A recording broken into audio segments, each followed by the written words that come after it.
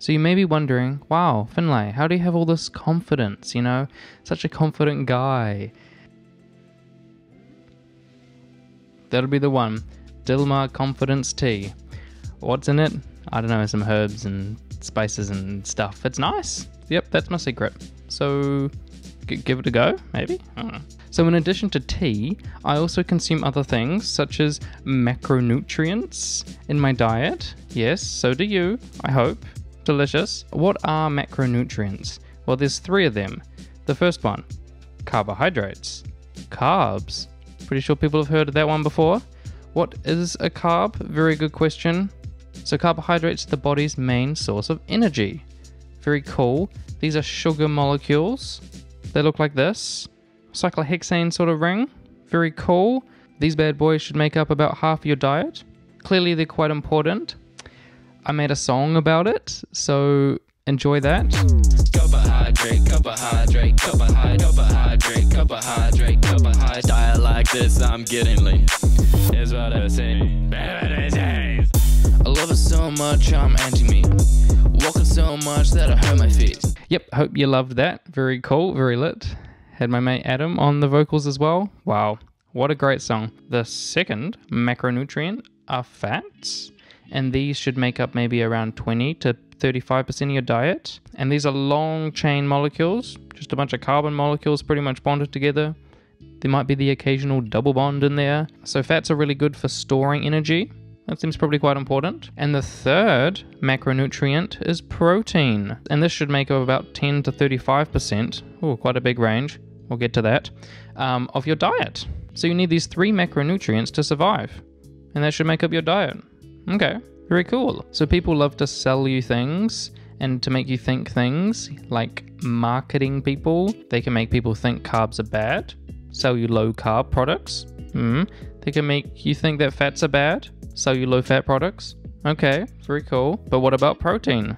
Hmm I'm pretty sure that you might have heard that protein's probably good for you. People really love to sell protein powder, protein supplements, all of that good stuff. A good way to make money for them. hmm But does that actually matter? Do we need all this extra protein? How much protein do we get? What is protein? So I had a little look into it and found some interesting things. I'm not a dietitian, obviously. I have a degree in chemistry. Does that mean anything? Not much. But this is what I found by reading some research papers. So, what is a protein? Good question. So, a protein is pretty much just like a big old folded up mess. really? Wow, look at that. What are those made of? Polypeptides. That is just a long chain of amino acids bonded together. Okay, so if we take it back even further, what is the individual building block that makes up a big protein? An amino acid. Cool, okay. So in a protein, there can be anywhere from like maybe a hundred of these amino acids up to like tens of thousands of amino acids in this single protein. That's a lot of things. Okay, so proteins are made up of amino acids. So what's an amino acid? Let's look at the name. Amino, amine, the NH2 group, that's an amine functionality, amino, that's on one side. On the other end of the amino acid is the acid part.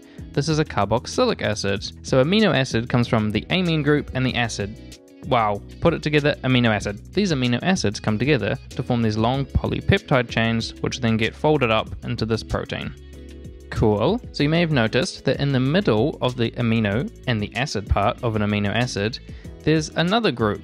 There's a there's a carbon in the middle there, and it's got a proton coming off, and also this R group coming off below. So what is this R group? This could be a bunch of different things. It could be a longer carbon chain, it could be some aromatic group, it could be like some other atoms bonded down there. So these different R groups allow you to differentiate between two different amino acids. And there's 20 different amino acids that each have a different R group. So by changing what amino acids you put into your protein, and like the order of the amino acids, you're able to change the function of that protein. And it's important that you have all 20 of these amino acid building blocks to be able to build whatever proteins that you want to build. You can think of the amino acids like tiles on a Scrabble board. Scrabble, very fun, nice. Let's say you wanted to make the word igloo, but you're missing one of the 20 amino acids. Oh no, I'm missing like an I. What's that gonna make? Glue. Your body can make 11 of these 20 amino acids. Very good. Well done, body. Very smart of you. However, it can't make these nine. Oh no. So, how do you get these other nine amino acids? Because, like, that's a lot of Scrabble tiles you're missing. Can't really make many words, many proteins. so, these have to come from your diet. And this is what the term essential amino acid comes from, because it's essential. You eat them, you have to get these amino acids from your diet, because you can't make them by yourself. Not the same meaning for essential oils. You do not need to ingest essential oils. They come from the essence of plants. Don't drink essential oils, it's a whole different thing. So, to get these nine essential amino acids, you have to eat protein that goes down into your stomach, and then from enzymes in there, they do their enzymy things, and they break down the protein into the individual amino acid building blocks. And now you've got all these amino acids, they can zoom around to all these parts of your body, make up your muscles, they make up your nails, your hair, they enable vital functions of your organs and immune cells. They're important in making like enzymes and hormones regulatory and transport molecules, a whole bunch of things. But the main is that they help build your muscle. It's kind of like getting a house, a protein, demolishing it into like the individual bricks, those are the amino acids, and they can get transported to other places and you can build a whole new house, a new protein. I guess it sort of makes sense because you probably don't want like the cow meat proteins that make up their muscles in your muscles you're not a cow, and maybe you are. Hello, all my cow friends. Wowee. So protein seems quite important then. So how much do we actually need? The recommended daily intake of protein is 0.8 grams per kg of body weight per day. So if you work this out for someone that weighs 70 kgs, there's about 56 grams of protein needed each day. So, how did they get this number? It's from looking at the nitrogen balance in our bodies. Because as we saw earlier, protein is the only macronutrient that contains nitrogen. Because fats, just kind of carbon, hydrogen, carbohydrates, also just mainly carbon, hydrogen, some oxygen maybe. But proteins have the amino group. So, if you measure how much nitrogen a person excretes, usually from like urea in the urine, maybe also from sweat, other things, and they worked out you need to consume this amount of protein to balance the nitrogen. So you don't want to be in a nitrogen deficit, less than this, because then you'll start losing muscle. Bye bye, muscle. Peace. But in the literature, there's actually quite a large range of the amount of protein that they think you should be having. This 0.8 grams is just to balance the nitrogen, so you're not gaining or losing any nitrogen from the protein intake. But different factors, such as if you exercise and you want to like build muscle, get massive, okay, you're probably going to need a little bit more protein to be able to build the extra muscle. So in the literature, the range is like from the 0.8 grams per kg per day to about 2 grams per kg per day. So they've determined that within this range is safe, and having a bit more protein than that base 0.8 grams per kg per day might be helpful if you want to build some muscle. So if we pick a higher number in the middle there, somewhere like 1.6 grams of protein per kg of body weight per day, for the same 70 kg person, it comes to about 112 grams of protein needed. One of the main reasons why I think there's such a large range is because it doesn't only depend on how much protein you eat, but also when you eat the protein.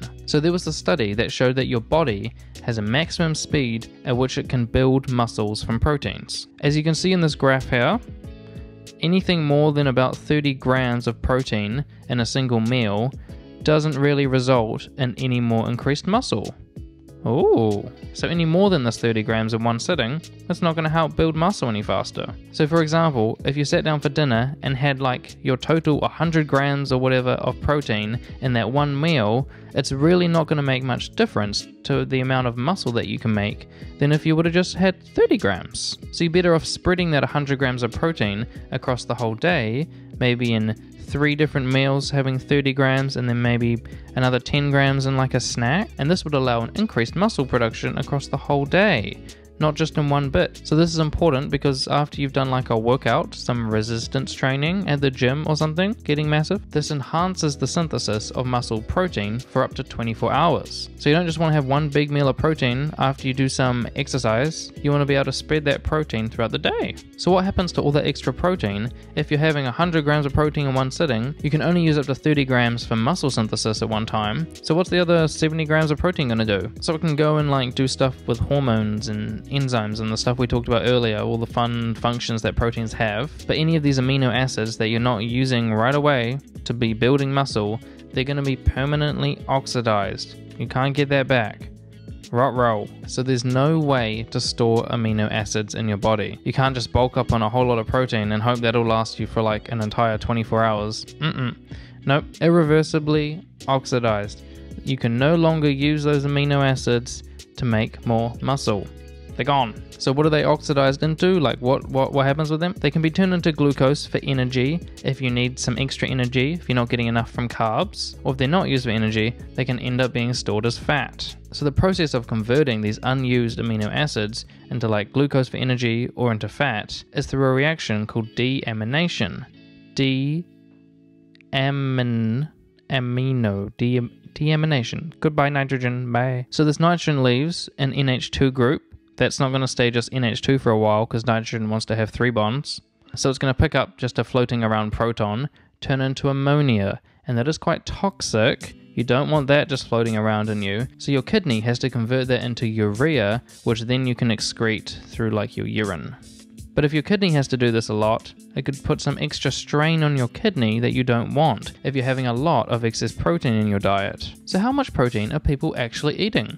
Too much? Too little? Do we need protein supplements?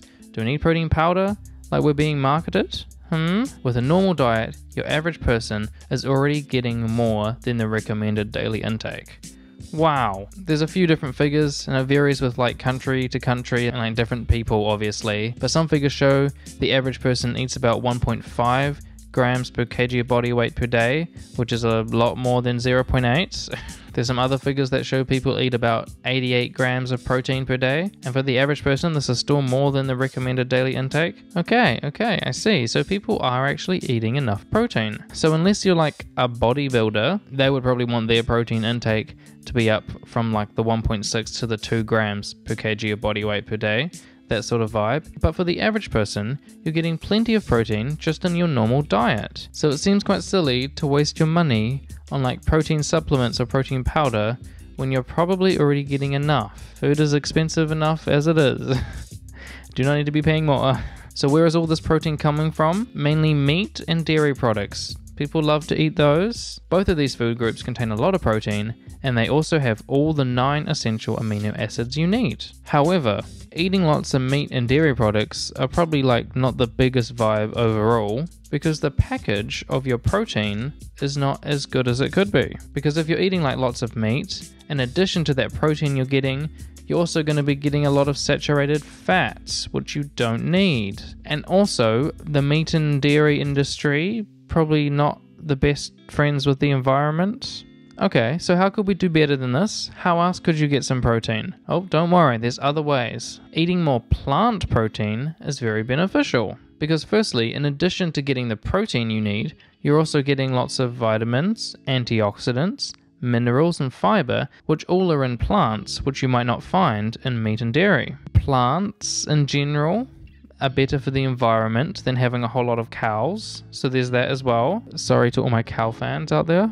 so, one drawback to plant protein is they may not contain all the nine essential amino acids you need, or maybe some of them are in just like a lower concentration. However, because people already eat over the recommended daily intake of protein, and if you're eating a bunch of different types of plant protein, you'll have plenty of the nine amino acids that you need. So, some examples of plant proteins are legumes, which include beans, lentils, chickpeas, and peas. Sounds delicious. There's also tofu, tempeh, don't really know what that is. Nuts and seeds are also a good source of protein. And importantly, quinoa is a great plant source of protein, and this actually contains all nine essential amino acids, so quinoa doesn't have the drawbacks that some of the other plant proteins does. Very cool, eat some quinoa. So a great thing about incorporating more plant-based protein into your diet is that you're not only getting the protein from the plants, you're also getting all the other nice nutrients they have. And a great example of this is plants have a lot of fiber in them. Unlike protein, fiber is a nutrient that the average person eats a lot less than the recommended daily intake. Oh, so what is fiber? Technically, it's a carbohydrate, a sugar molecule, but it's a bunch of sugar molecules connected together, usually about 10 or more, to form a non starch polysaccharide. There's two main types of fiber soluble fiber, can dissolve in the water in your body, and insoluble fiber, which can't. Because of the structure of fiber being like a chain of these sugar molecules, it doesn't get digested in your stomach. Ooh, so it passes straight through your stomach and goes into your large intestines. And who lives in your large intestines? Your gut microbiome. Yes, there's a bunch of friendly bacteria there. They're so cool, they're so friendly, they're nice. So when fiber comes to them, they're like, mm mm mm, delicious, thank you so much. I can turn this into some short chain fatty acids. Doing my thing. Mm. So, a result of having a lot more fiber can increase your cardiovascular health. So, you can see there's a nice graph here. Eat more fiber, less chance of having cardiovascular like diseases. Okay, very cool. It can regulate your blood sugar. It can increase your gut health, you know, your gut microbiome. They're a lot more happier, those guys in there. There's this gut brain axis, you know, your gut talks to your brain, your brain talks to your gut. They're quite connected. We don't really know everything about it. There's a cool study that demonstrates this, showing that increased fiber may help reduce depression. Wow, very cool. And another main positive of increasing your fiber is you'll be less constipated. That's sick. I love that the two types of fiber there's the soluble the insoluble. They both have different roles in like lubricating your intestines and, and adding more bulk to your stool. All the good things so you can be less constipated. Hell yeah that's sick. So in the western world the average person needs to increase their fiber by about 50% to get to the recommended intake. So people are quite a way off having the recommended level of fiber which is, you know, probably quite concerning. Seems a bit more concerning than the protein situation, definitely getting enough of that, not getting enough fiber. So, why isn't the average person getting much fiber? So, if we look at the standard American diet, I love how the acronym is SAD. It's very fitting.